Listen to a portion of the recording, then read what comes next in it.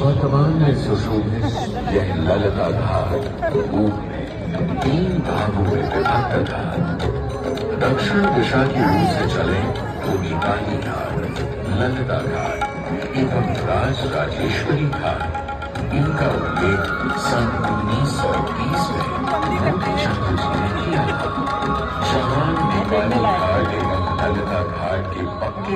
पक्के का श्रेय आठ बजे स्टार्ट होता है नेपाल के महाराजा बहादुर शाह को जाता है। वही राज राजेश्वरी घाट के निर्माण का श्रेय सिद्ध गिरी जी को जाता है। नेपाली एवं राज राजेश्वरी घाट में समाहित हो गए। ऐसी मान्यता है कि अश्विन मास की कृष्ण तृतीया के दिन ललिता गीत में स्नान देवी के दर्शन करने से श्रद्धालुओं की सभी मनोकामनाएँ पूर्ण हैं।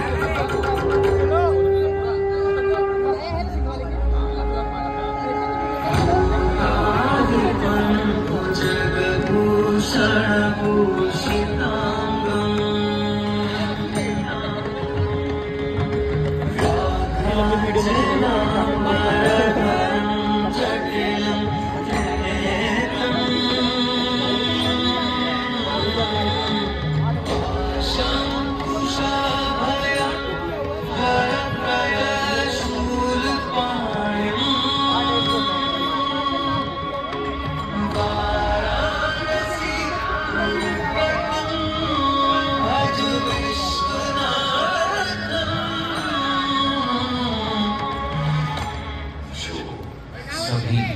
के स्वामी है, जो सर्वों को आभूषण के रूप में धारण करते हैं, जो बाघ की खाल को सुशोभित करते हैं। सूर्य, चंद्रमा और अपने उनके तीन नेत्र हैं, तथा वो छटाधारी है पाश अंकुश और त्रिशूलधारी है। वे अपने सभी भक्तों को आशीर्वाद देकर उन्हें भय से सुरक्षा प्रदान करते हैं। ब्रह्मांड के स्वामी एवं वाराणसी के भगवान श्री विश्वनाथ की हम वंदना करते हैं। मैं आदि नगरी काशी, वही काशी जो स्वयं भगवान शिव के त्रिशूल पर विद्यमान है। सृष्टि के प्रारंभ में महादेव ने जब पृथ्वी पर अपनी दृष्टि डाली तो उन्हें एक भाग चमकता हुआ, प्रतीत हुआ। उसी भाग को भगवान शिव ने काशी का नाम दिया। कालांतर में गंगा नदी के तट पर बसी इस काशी नगरी में समय समय पर अनेकों घाट विकसित हुए, जहाँ श्रद्धालु आकर पूजा अर्चना एवं स्नान किया करते थे।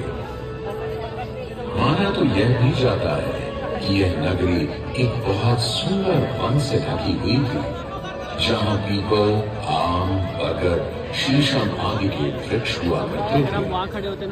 तो जिनकी छाया में बैठ ऋषि मुनि साधु संत आनंद से तपस्या किया करते थे।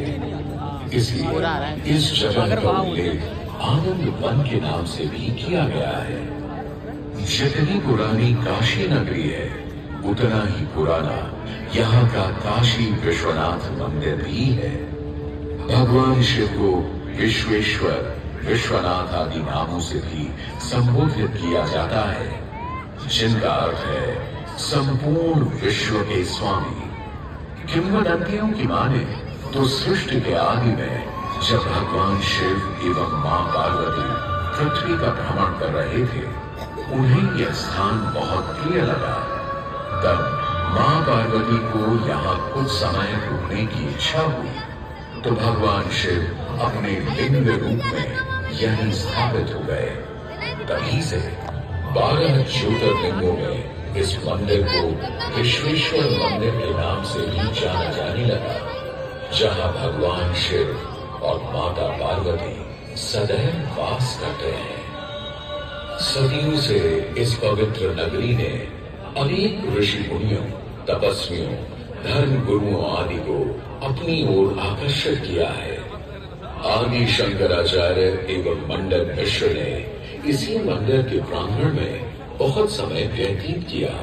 समय बदला, दौर बदला।